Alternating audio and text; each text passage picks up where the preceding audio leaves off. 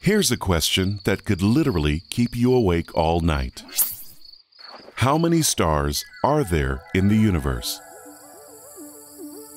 On a clear evening in the desert without a telescope, we can see about 5,000 individual stars.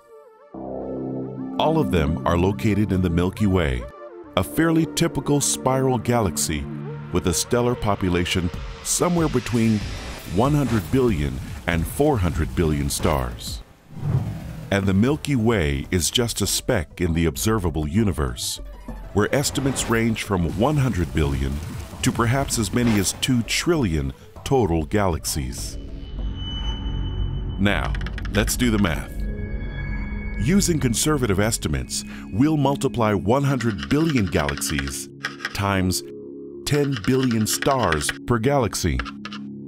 The product is a whopping 1 billion trillion stars. And remember, that's a low end estimation.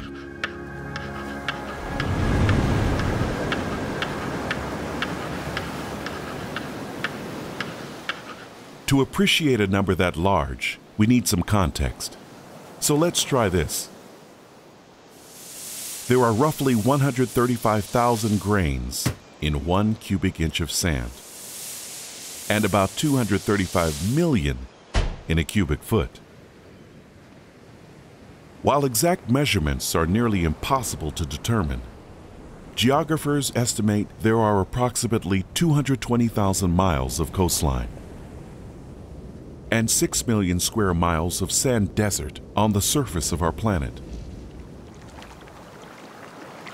Using estimates like these, researchers at the University of Hawaii have calculated that in all the deserts and beaches of the world, there are something like 7.5 times 10 to the 18th power, or more than 7 billion billion individual grains of sand.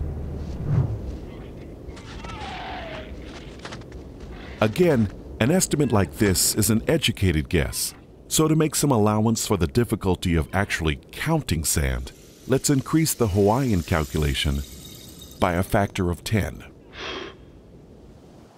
Now that'll build you a lot of castles, but it's only a fraction of the total number of stars.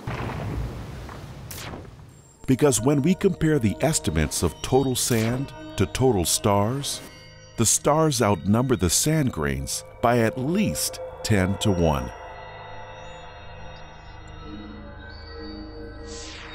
But that may not be the most amazing part of this story. You see, a single grain of sand, 4 one hundredths of an inch in diameter, contains approximately 500 billion billion individual atoms. That's more atoms in one grain than total grains of sand on the Earth, or stars in a billion Milky Way galaxies. Okay, before we power down our calculators, here's a final dose of big numbers. In a single drop of water, there are about 1.7 billion trillion individual H2O molecules. That means in just a few large drops, the total number of molecules could exceed the total number of stars in the entire universe.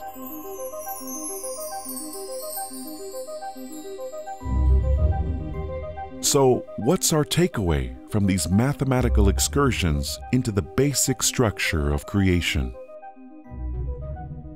Well, for starters, we live on a planet that's part of a cosmos unimaginably large and complex.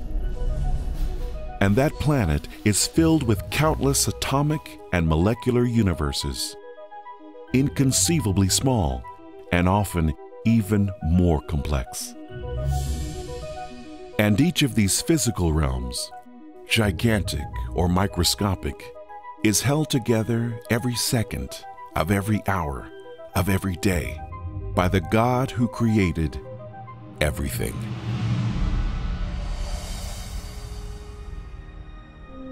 Remember that next time you're searching for scarab beetles in the Sahara Desert. Or camping in South America under the breathtaking glow of the Milky Way. or just hanging out in the backyard, watching your wet dog launch 10,000 liquid universes on a summer afternoon.